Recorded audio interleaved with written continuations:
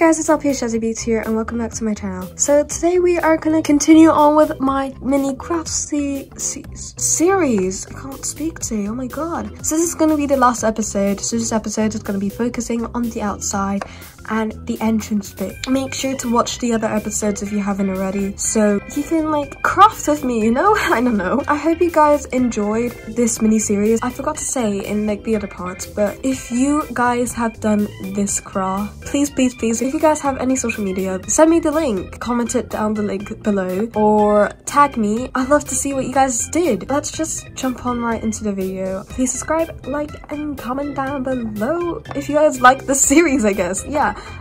and if you subscribe, hit that bell notification to get notified when I post videos. So yeah, let's get on with the video right now.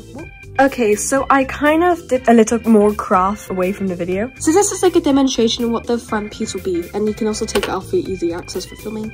And yes, this is like removable. So like it's easier for you to open the door and stuff. So yeah, you might have to like sticky tack in or like use blue tack to stick it in. And then over here, I built this little box thing to put like the bread in for sale to show like it's for sale and then people can go in and like all this stuff. How I made it is basically the same thing of how I made this screen thing, that screen here, but just make it so it's up here and this size. Didn't make six sides, it just made five and then it looks something like this. Before I start, I'm going to go back to the crafts that we made. We made these two, ooh, you can't even see that, oh my god. We made these two little cup things.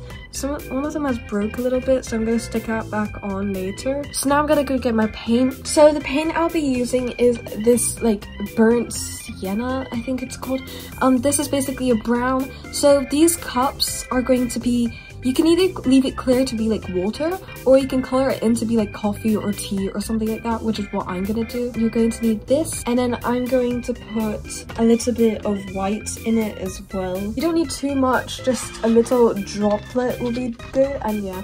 Um, I also might use a little bit of this yellow orchid color as well. There's a little paint on there. Just to like mix it up and give it that goldenish glow. I'm gonna add some water in it. I don't think you can even see it, but yeah, it's right there. Yeah, my paint pot's really messy. I like it like that though. I'm gonna add some water into that just to make it a bit more runnier, to easier to paint. And then yeah, let's get started on painting. I had to do voiceover for this one because you could not understand what I was saying. But basically, you're just gonna um, paint that little top bit, which I'm doing on the screen right now. I'm not gonna paint anything else. And since the glue dried clear then it just like reflects onto there now i just left it dry on my little stand right here so you guys might want to make this box thing to put outside i'm gonna make some more inside that one i'm gonna place these breadsticks that i made earlier i'm just gonna plop them in there and I'm not going to stick them down because they look okay like that. I might make a little bit more, I'm not sure. But if you guys want, just make some more and make it like fill up and then it looks nicer. So now I'm going to make a little label at the front says like the price and stuff. So I cut a piece of paper around that size. I'm going to use a black pen. If I use a marker then it's not going to like it's going to be like really thick and you can't see it as much like what it says. So yeah, I'm going to write bread and then yeah the the price i guess. Now i'm using a marker. So here it is. Just for bread for sale and then it's gonna be ten dollars. So yeah i'm gonna stick it on the thing right now with some glue. You couldn't hear me here but i said you can use any glue but i'm using a glue stick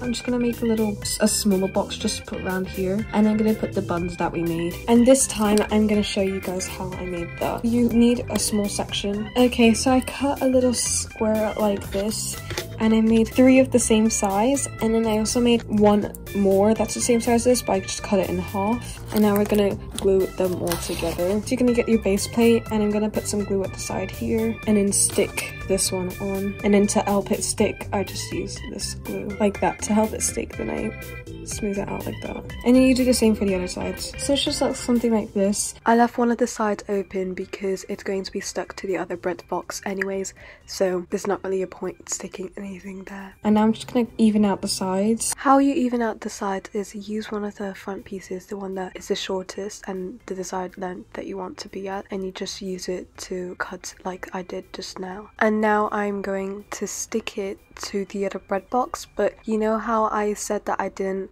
glue one of the sides down? I'm going to glue that to the box instead because you want to make sure that it is not stuck down to the floor so you can easily remove that little doorway thing for easy filming access and so on. And now I am going to stick another price tag thing on the box we just made. For this, I wrote fresh bread for sale and then I wrote that. Yeah, it's more expensive, even though it's smaller, it's just, yeah. And I'm gonna place these two buns in it when it's dry, because it's not dry. Since I only have two, it it's like stuck inside and I want it to stick out a little bit. So I'm gonna get my cardboard, cut this into little pieces and stack and glue them together. And then I'm gonna glue this inside. Forgot to mention, but basically what I'm doing here is elevating it so you can see the buns more and it looks more fuller, you know, because I don't have enough buns to put in the box. Sorry about the lighting, it is really bad. It's just later in the day and because it's later in the day, it's getting dark and so I had to turn on my light and my light is really bad quality, so yeah. Your cups should be dry. This is what they should look like. Well, this is just one of them. And then I'm going to be placing the coffee cups around here. I'm not going to stick them down because like you can use it for sets and everything. So I'm just going to use sticky tack or blue tack to stick it down. I forgot to mention mentioned this in the video, but the last video of this series we made those little ice cube things and we put them off to the side.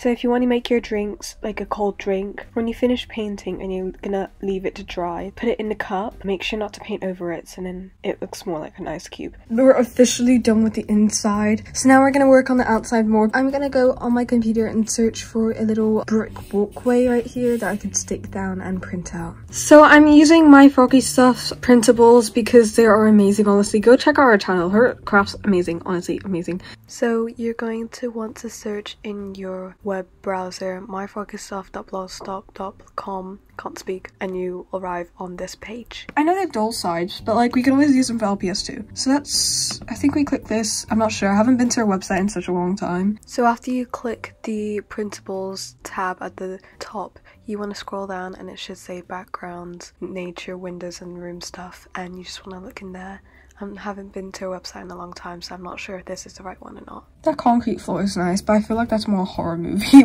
I kind of like this brick road, to be honest.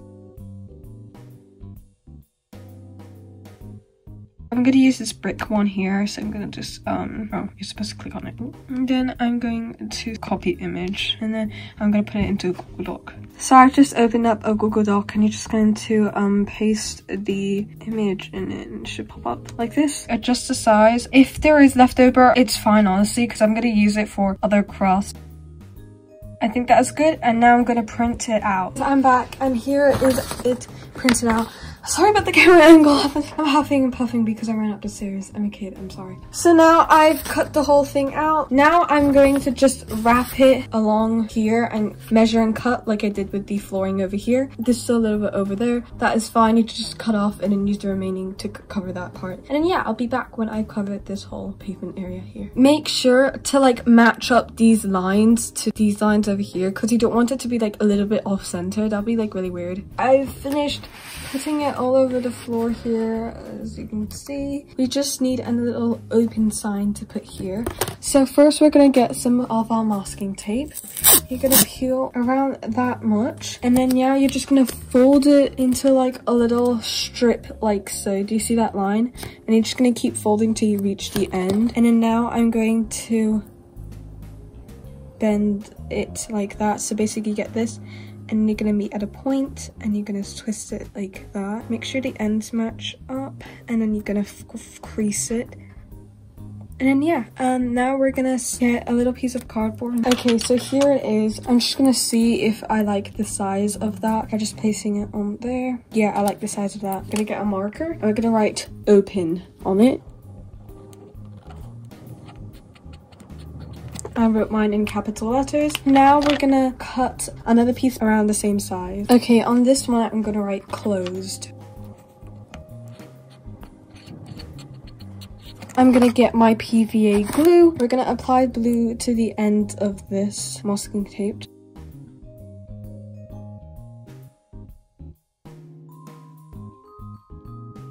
And then we're gonna stick the other one the same thing, but at the back.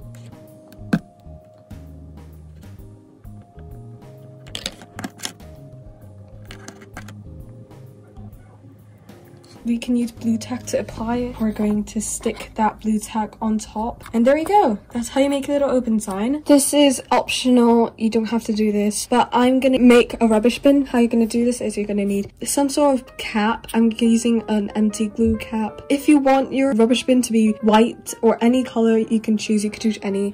You And it's not the cap color, you can paint it. I'm okay with white. I'm going to use parchment paper. So basically what you're gonna do is you're just gonna cut a little square around that big and then we're gonna get our trash bin. Put our finger in the center of the square and we're gonna push down like so. Then it should all like crumple down and you're gonna grab the edges and just fold them over the edge like so. I'm just gonna cut those squares. And what I'm to do is crumple bits of paper. And yeah, you can put all sorts of trash bits in there. You can even put like little food things and everything. But I'm just to put paper for now. You don't have to glue this down. You can put it anywhere you like. I'm just to put it right there. Right now, I, this is really optional, but um, I'm just sticking some of these like duck sign things I've got. I remember, I think I said something about it in like part two or something but I'm just sticking them on the outside because I had some left over but yeah, it's like she's like this cafe Betty's is sponsored by this bee duck thing, but I'm not sure. But yeah. What's on guys? You made it through. We're done now. Here's an overview of what the cafe looks like. So here's the front and then you walk inside and here's the inside. I really like how it turned out. It really um, appealed to my visual image in my mind and what I wanted it to look like. I really like how everything turned out. It's just what I wanted it to look like. Especially the bread considering it's my first time. Okay guys, that is the end of this whole mini series, whatever. I hope you guys enjoyed this mini series and like this mini craft. Let me know if you guys have any questions and I can be sure to, you know, help you out. So I hope you guys enjoyed the video. Please subscribe, like, and comment down below any questions you have. Like I said, like to let me know if you enjoyed the video. And if you subscribe, hit that bell notification to get notified on when I post videos. Love you guys so, so, so much. And see you in my next video.